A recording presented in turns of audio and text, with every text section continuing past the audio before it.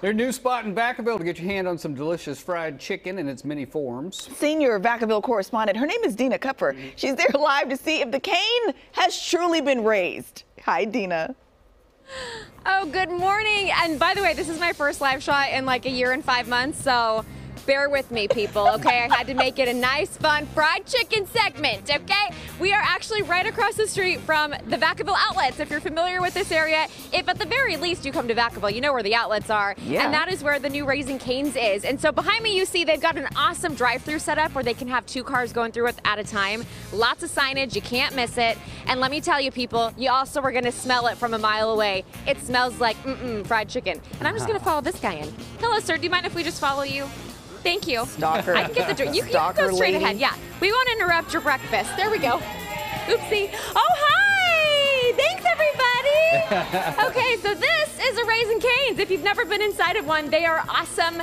And they are also catered to the communities in which they are erected, which is really special. So we'll talk more about that as we make our way through. But first, let me walk on over to Lisa Toth, who is the regional leader for the restaurants. Good morning to you. Good morning. Thanks for having us. Okay, so first of all, Raising Cane's, if no one's been here, what is it?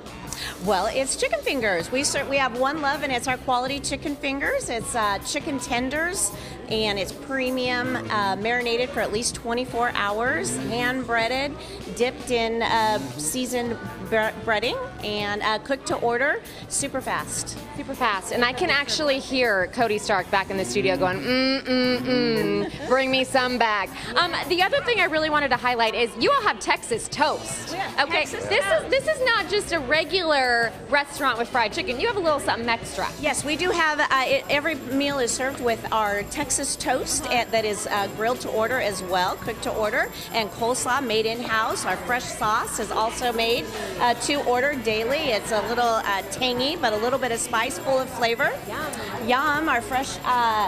Lemonade is squeezed fresh daily as well.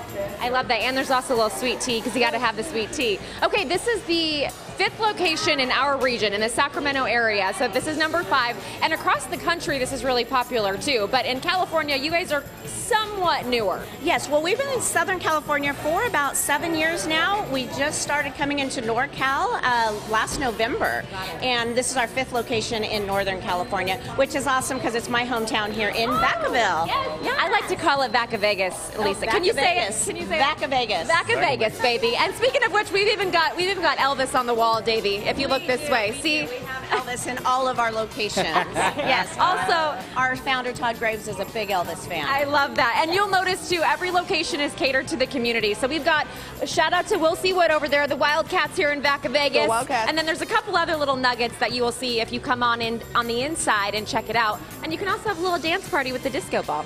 Um, Lisa, thank you so much for having us. Thank you so much for coming. Cheers to a grand opening last week. And if you are in the Vacaville area, come early because I will tell you, my husband tried to come Saturday night. The line gets pretty long for fried chicken on a Saturday night.